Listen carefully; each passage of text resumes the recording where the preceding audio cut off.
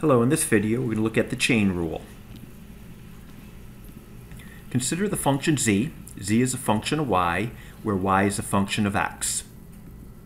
The derivative of z with respect to x equals the following. It's going to be the derivative of z with respect to y multiplied by the derivative of y with respect to x. A change in x causes a change in y, leading to a chain reaction that causes a change in z. That is why this is referred to as the chain rule. Let's do an example. We have function z, which equals 2y squared, where y equals 5 plus 4x. We want to find this derivative. We want to find the derivative of z with respect to x. So doing that, we're going to take the derivative of z with respect to y, and then multiply it by the derivative of y with respect to x. So first, the derivative of z with respect to y, Taking the derivative of 2y squared gives us 4y. That's my result right here. Taking the derivative then of y with respect to x, so taking the derivative of 5 plus 4x, we just get back 4. That's my result in parentheses. So 4y times 4 gives us 16y. And since y is 5 plus 4x, I'm going to make that substitution, and we have the following result.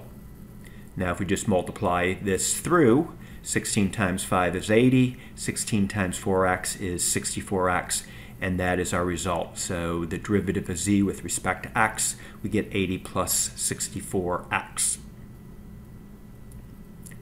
Our second example. Here we have a revenue function. Revenue equals 10 times Q. This would be for a perfectly competitive firm. Notice here that Q is going to be a function of L, units of labor. We want to find the derivative of revenue with respect to labor, which is the change in revenue from adding an additional worker. This is also the value of the marginal product of labor. So taking the derivative of the revenue equation with respect to labor, we're first going to take the derivative of the revenue equation with respect to Q. We get back 10, so the derivative of 10Q is just 10. Now we're going to take the derivative of this uh, Q equation here, which is essentially a production function. So we can take the derivative of this equation here with respect to L, and we're going to get back L raised to the minus 1 half power.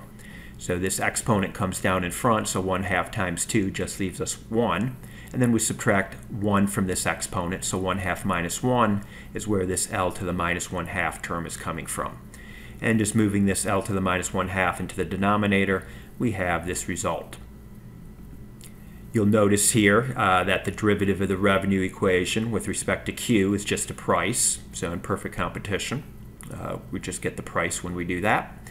And then the derivative of the production function with respect to L is the marginal product of labor. So price times the marginal product of labor is the value of the marginal product of labor. All right, so we backed into that by using the chain rule. Okay, that's it.